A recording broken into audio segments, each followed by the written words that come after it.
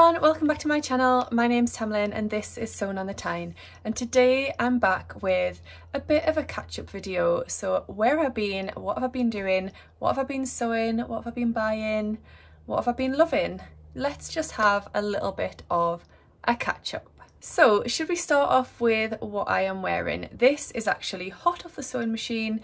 It was finished this morning I am going to do a separate video. I'm actually going to do a pattern review video of this make where I go into lots of detail because there's some things that I want to say about it. But I'll just show you what it is. So this is the Malibu shirt by Stay Stitch Pattern Company. I shared this in my recent video, which was five pattern releases that I'm loving right now. And this was the very first one. So it's this lovely little shirt. You've got a collar here. There's no buttons or anything, so it comes down here. I've just got like a little bralette on underneath, so if you keep seeing a little peek of that, that's what it is. I'd probably wear this with a little vest top underneath, but the vest top that I want, which is like a cream ivory colour, is in the wash at the moment. So I've just popped a little bralette on. And then it's got these two pockets on the front with pocket flaps. These are optional, you don't have to put those on. It's got these mock cuffs here. And then it's got this little, what looks like a twist, but it's not actually a twist here. And it comes up quite high, as you can see, it's quite cropped. And then it's just quite loose and boxy at the back. So yes, I absolutely love the finished result. I didn't love all of the sewing process, but I will explain that in my review video. But I love the finished result and I will be making another one quite soon. I think I might make another one before I then review the pattern, just so that I've given it a really thorough going over before I talk about it. The fabric is this incredible viscose linen blend from First for Fabrics. So we've just uploaded I think 10 different designs last week and they're beautiful. So they're 12.95 a metre, which is a great price for viscose linen. They are 30% linen and 70% viscose.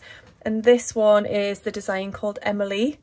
And I just love it. You can see that slub linen texture there. But I just love the like marble effect of this design. I think it's really, really lovely. So yes, that is what I'm wearing. My earrings are sapphire frills as usual. And I'm loving, I'm loving the vibe today. So where have I been? I have had quite a busy two or three weeks now. As you probably know, myself, Ruan and Rachel went to Leeds together at the start of the month. So we had a lovely day in Leeds. I had a nightmare journey home on the train. Let's not talk about that. but other than that, we had an absolutely fabulous day. We had some lovely food, drinks, fabric shopping, which I'll share with you very soon. And it was just a really, really lovely day.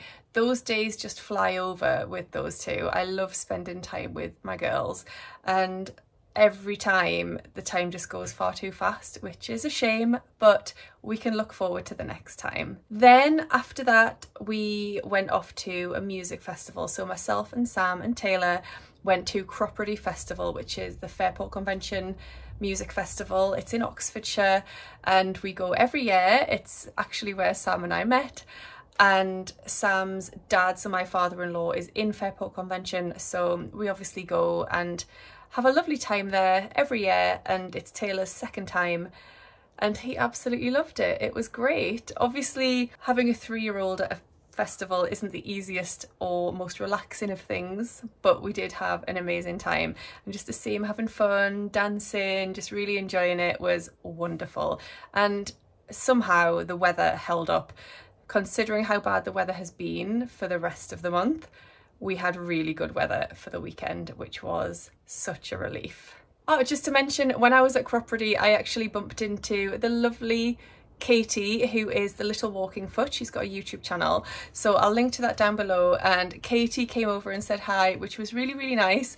I was in the middle of dealing with a little bit of a wild Taylor because he'd had quite a long nap in the buggy. We'd, I'd pushed him round and round the village just to get him to have a really good nap because he was tired. I think he'd slept for about two hours so then he'd just woken up and had all of this energy and I was chasing around after him around the different stalls looking at things and he was trying hats on and Katie came up to me at that point. So I might have looked a little bit frazzled, Katie. I'm really sorry if I did, but it was really nice to say hi. So in the run up to going to Cropredy Festival, I decided to sew a few bits and bobs for that. Not for me, but for Taylor, for Sam, and also as decoration. So I wanted to sew up some bunting that we could use to decorate our gazebo with. Now, a bit of a bugbear, we didn't actually end up putting the gazebo up so the bunting never actually went up so I spent that time making it and making a lot of bunting is quite a boring task I have to say and it didn't end up getting used but it's there for next time. I also sewed up a bucket hat for Sam so he wanted an Oxford United football club bucket hat. So he dug out one of his old football shirts and I cut it up basically and made it into a bucket hat for him. But it turned out so, so well. He loved it. He wore it the whole weekend and I'm really, really happy with it. And I think I might do that again. I also decided to sew up a few things for Taylor. He felt really needed some new trousers.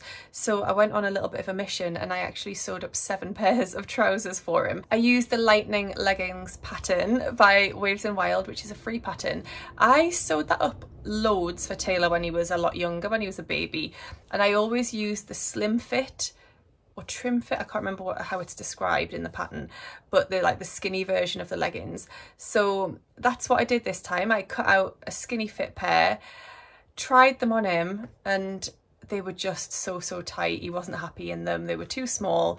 So I thought I'll try the relaxed fit because actually they fit quite well on the waist and on the cuffs, but they were just too tight in the legs. So I decided to go for the relaxed fit and I tried those on him and they were absolutely perfect. So then I whizzed up seven pairs and those trousers come together so quickly. They are just a really, really fast and easy make. Great for beginners because they're just super, super easy. So yeah, seven pairs of new trousers for Taylor and he's been wearing them non-stop. So most of the fabrics I used were from First for Fabrics and the pattern said for the size that I made, which was size three, said that I needed 70 centimetres. I actually only needed half a metre, so I know I can get a pair of trousers out of half a metre of fabric for Taylor, which is awesome. All of the fabrics were cotton spandex jerseys, so 95% cotton and 5% spandex. And he's just got a really gorgeous range of trousers now to choose from. So I was really, really happy with that. And so was he. And then since getting back from the festival, I had a lot of things on my mind that need to be done. I've got some pattern testing coming up that needs to be done. I've got Northern Sewl Sisters things that need to be done. And I've got all of my cut out projects, which as you know is a lot. But I decided to just ignore all of that and sew this up instead. So, you know, that's what I've been sewing up this week. I started it at my social on Wednesday and I finished it last night and this morning. And I'm really glad I did. I just needed to do that. Just forget about everything else, ignore the overwhelm and just get something like this done, which I'm really pleased I did. So should we have a look at some of the things that I've been picking up recently? These aren't going to be in any particular order, but I think I will actually start with what I got when we were in Leeds. So when we go to Leeds, we always head to B&M. We really, really love that fabric shop. The owner's really lovely. We always chat a lot to her and they always have a really great selection of things at great prices. They have quite a lot of the same stock as we do at First for Fabrics, but they have some other stuff as well. So I was able to pick up quite a few nice bits and pieces. So let's see what there is in here. So I saw this beautiful Sea Life cotton. And as you might know, Taylor absolutely loves anything sea creature related. So I just had to have that. I just got half a metre of that. I thought it might become a bucket hat for him. Actually, it probably will because he loves his bucket hats that I make and that will just make an absolutely beautiful one. So yes, just half a metre of that. Then I got, I think I got a metre and a half of this viscose. I couldn't resist this. Actually, I didn't have this in my pile at all until right at the end. And when you're waiting to have your fabric cut, you've got all of these rows of fabric, all of the viscose is just underneath there where you're standing. And I just kept looking at it and looking at it and I couldn't stop. So I got this one, which I really, really like. So it's just got all these leaves on in different directions and the colours are purple, pink, yellow, there's some brown and grey. And I actually bought that with this pattern in mind, so it may become this, or it may become something else. But I just really, really like that. I think I got a metre and a half of that, just so I did have enough for this shirt. Then I couldn't resist this one. This is another viscose and it's just this incredible tie-dye design. Ah, isn't it stunning? So I got this with the Suncatcher dress pattern in mind, which is by Handmade Millennial. I shared that in my top five pattern releases video. And this is actually really, really similar to one of the promotional photos for that pattern. I just thought it was stunning. I mean, I feel like we're already heading into autumn here in the UK, so I don't know how seasonally appropriate this is, but never mind. The next thing that I picked up was this, which I think was a linen cotton blend or like a canvas can't remember. But anyway I just wanted half a metre of this to use for a bag. I was thinking the Harrelson belt bag but actually I'm about to talk about another bag pattern and it might become that instead. So I just wanted half a metre of this but then this was all that was left. So she just gave me it all for the price of a metre which is amazing. So for the price of a half metre and there's over a metre there which is amazing. So I just really like that one. I really like the colours and I really liked the abstract design and I think that'll be awesome for a bag. The other bits and bobs I got were all bag making supplies. So as you know, I want to make the Harrelson belt bag. I've got the pattern. So I got some beautiful webbing that I thought would be perfect for it. And then I also got this webbing again, which I thought would make a really nice bag strap. Oh, this is all of the, like the hardware. So the D-rings and the little clasp things, all of the bits and bobs that I need. So that was everything I got at B&M. Then we went over to Samuel Taylor and I wasn't really going to get anything in there, but I saw some pirate themed cotton and Taylor's really obsessed with pirates and Swashbuckle in particular which is a program on BBC iPlayer so I got him half a metre of this one because I thought it was really cute so it could be a bucket hat it could be something else I don't know, like a little cushion or something like that, a reading cushion. But I just, it was too cute to resist. So I got that. And I also got some interfacing, which I need for a secret project that I can't tell you about.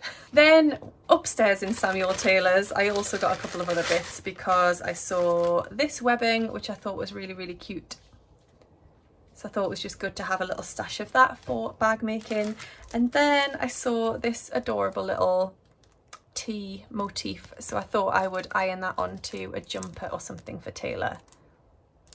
So yes, that was all of my Leeds purchases. The other thing that I came back with from Leeds was another piece of fabric that my gorgeous Rachel gifted to me.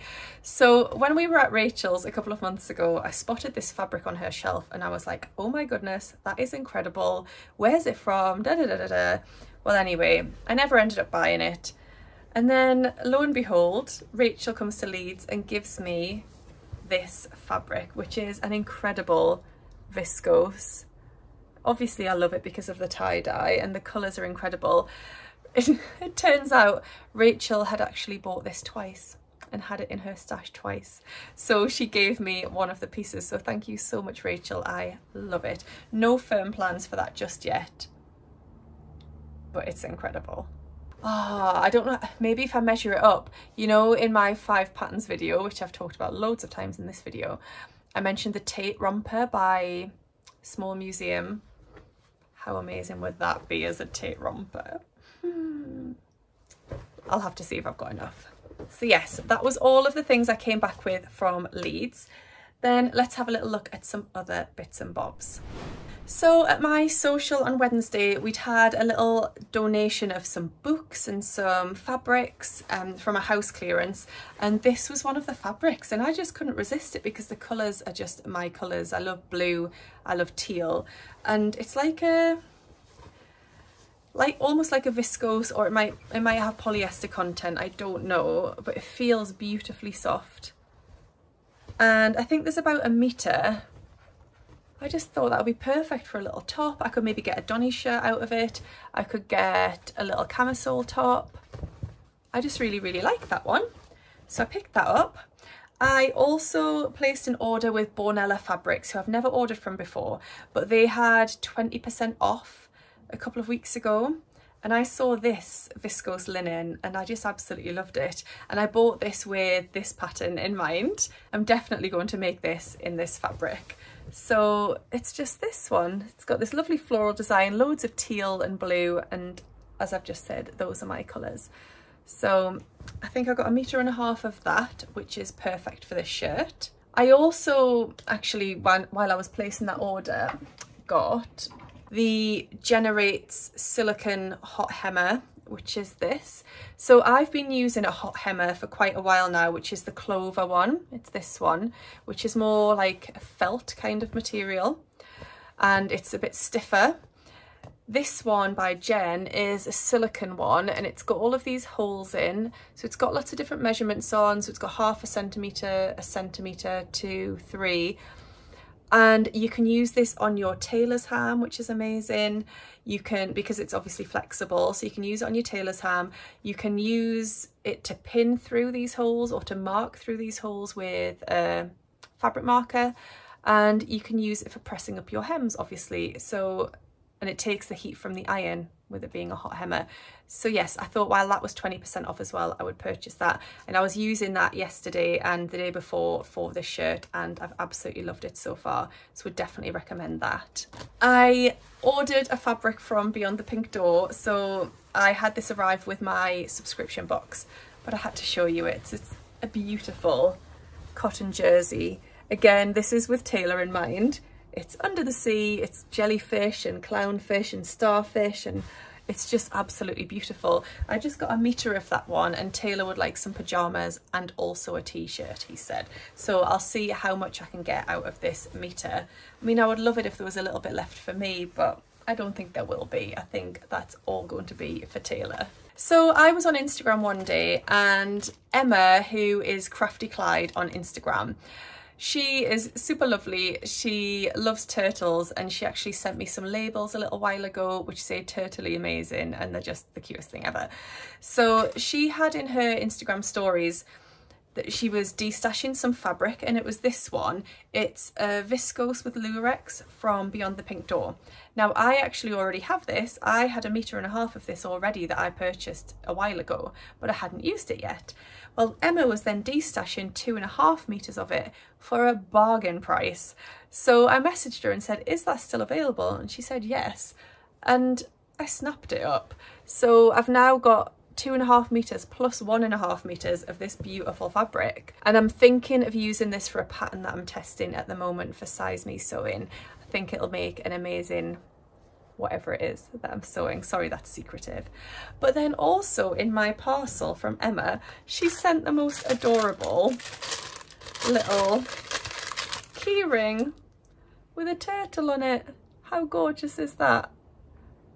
So I think I might put that on Taylor's like school backpack. I think you'll love that. So thank you, Emma. That was amazing. Are we nearly there? I, when I was in Leeds, picked up some woven interfacing. Now, so many patterns that we sew call for interfacing and the interfacing that you tend to get in most shops is quite papery.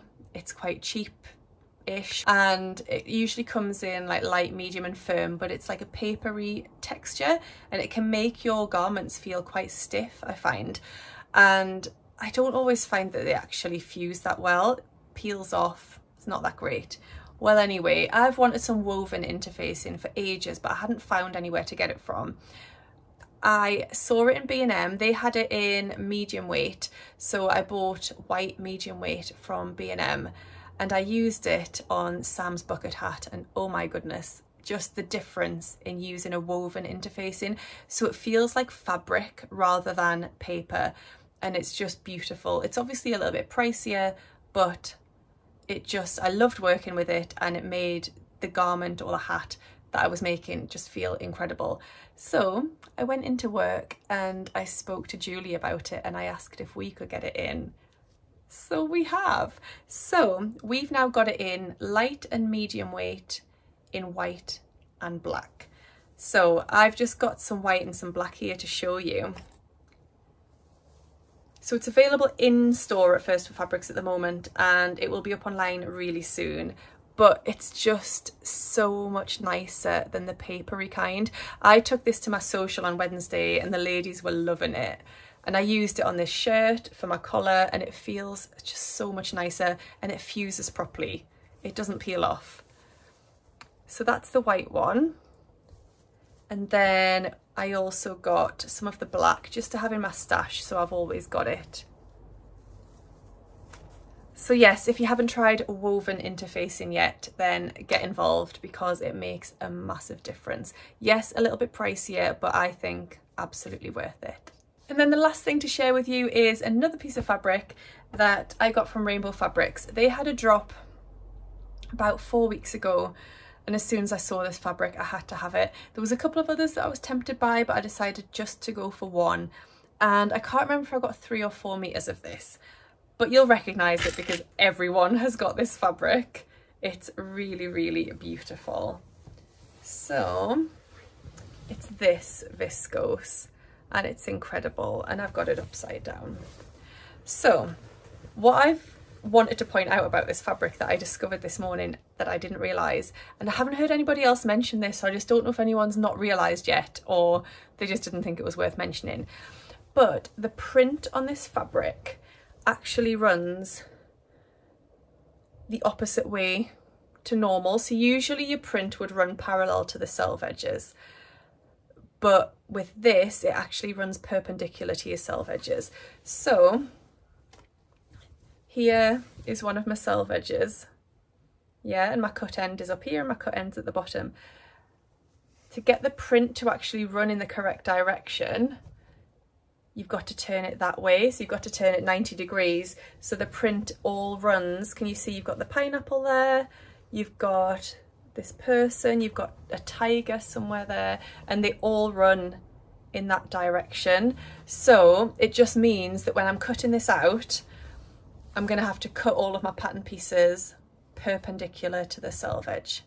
Does that make sense? I was thinking of making the Suncatcher dress by Handmade Millennial and it might just impact that. I'm hoping I'll still have enough because I've got either three or four meters, I can't remember how much. And the width of the fabric is like 140 wide, I think, so it should be okay. But it's just worth bearing in mind if you have got this fabric, don't just jump in and you know, fold your fabric and cut everything out that way because then your print's all going to be horizontal rather than the correct way up. Beautiful, beautiful fabric. There's a tiger, there it is. And Rachel's got this, Ruan's got this, lots of lovely people that I've been watching on YouTube have also got this. It's a stunning, stunning fabric.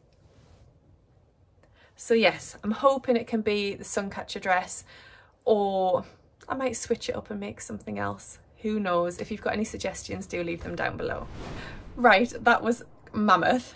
In terms of plans that I've got coming up, I'm going to be working on some Northern Sewl Sisters projects and also some pattern tests as I mentioned. I'm also going to be getting started on my dress for Frocktails. We've got Scottish Frocktails coming up at the end of September and I need to get my dress made for that. So I'm going to be working on those things. I'll keep you updated as I go along and I'll reveal information about the pattern tests as and when I can. I have purchased a pattern this week and I just wanted to share that with you and it's actually a bag pattern and it's the long awaited and anticipated first pattern release from Blackbird Fabrics. So they have now started releasing patterns and they've been talking about this on the Love to Sew podcast for a while now and I've been really excited about what they're going to bring out and their first pattern release is a bag and it's called the Bestie bag which I just think is the cutest name.